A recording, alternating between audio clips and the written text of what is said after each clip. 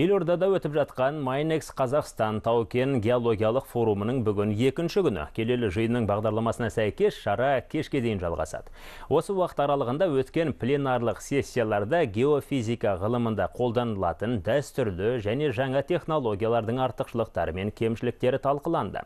Шарадан дәл қазір әріптесім Мирлан Алтынбек ә, сөз алады. Мирлан, армысыз тағы ә, қандай мәселелерге мән? Қайырлы күн қадірменді көрермен қайырлы күн жамбыл рахмет. Енді бірінші кезекте бұл әлбетте инвестициялық тартымдылық.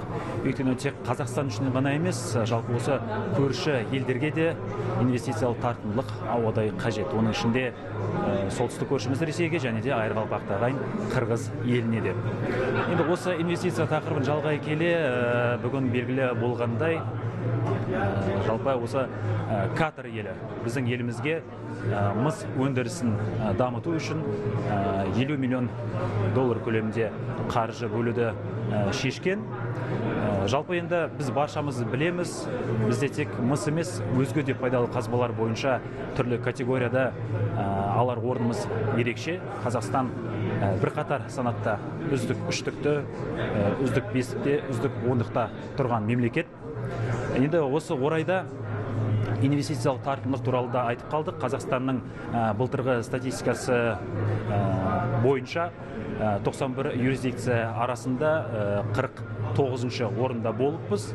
Ал биыл 24 сатыға көтеріліппіз. Яғни былтырғы кезеңмен салыстырғанда 50 проценттік өсім байқалады.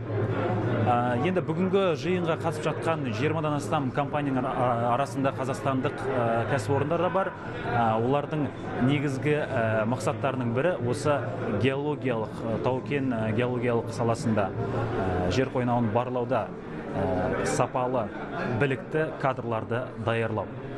Олар енді баршамыз білеміз осы бағдарлама шеңберінде дуалды оқыту жүйесі елімізде қолға алынғаны белгілі.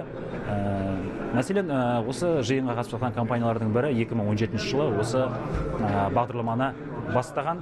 Биыл 25-ке жуық түлек осы геология маманы болып оқуын тәмамдайды. Жиын енді екінші күн өтіп жатыр форумы. Алдағы уақытта көптеген мәселелер қаралады әлде де кешке дейін. Мәселен осы геологиялық саласындағы жол картасын жетілдіру бойынша да тақырыптар қаузалады. Шара соңында осы жиынға қатысушылар түрлі жетістіктері үшін грамоталармен бағалы сыйлықтармен марапатталады. Сондай ақ бірнеше жақты меморандумдарға қол қойылады деп күтілуде. Әзірше бар ақпарат осы жамбыл менде. Алдағы жаңалықтарда толтыратын боламыз. Жақсы мирлан әлі де ақпар күтеміз. Көрермендердің естеріне салайық. Әріптесім мирлан алтынбек тікелей байланыста.